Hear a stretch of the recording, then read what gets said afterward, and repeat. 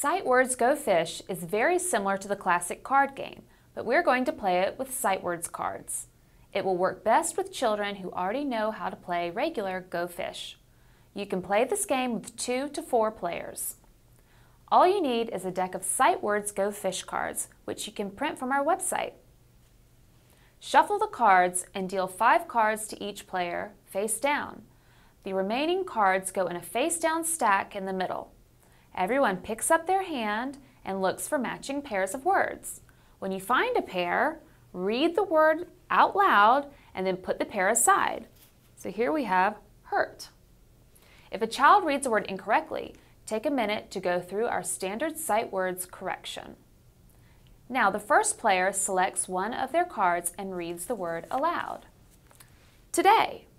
Then they ask another specific player, Annie, do you have any cards with the word today? If Annie does, she says, Yes, I have a card with the word today. She hands the card to the first player, who then sets the pair of cards aside and gets another turn. But if Annie does not have that card, she says, Go fish! And the first player has to take a card from the stack in the middle.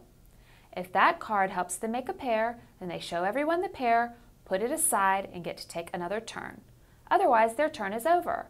The player who said go fish gets the next turn.